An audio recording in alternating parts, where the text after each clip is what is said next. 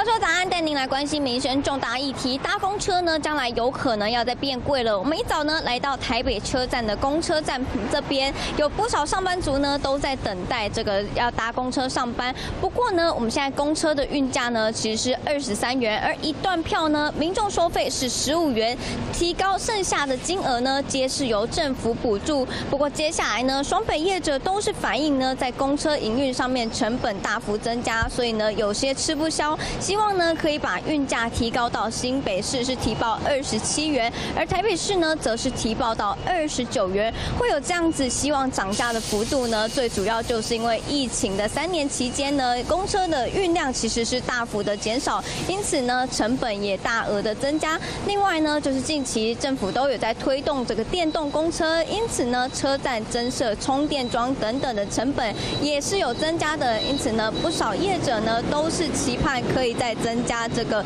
客运以及公车的运价，不过呢，到时候到底是多少是民众负担，以及呢政府负担，都还有待进一步的讨论。以上现场最新，我们的时间镜头转棚内主播，我是戴立刚，也是气象专家，十八年的气象主播位置，告诉你最准确的天气信息。当然，更重要的天气内容呢，就要锁定我们中视气象台，更多的新闻信息内容，锁定中视 YouTube 频道，按赞、订阅、分享，开启小铃铛。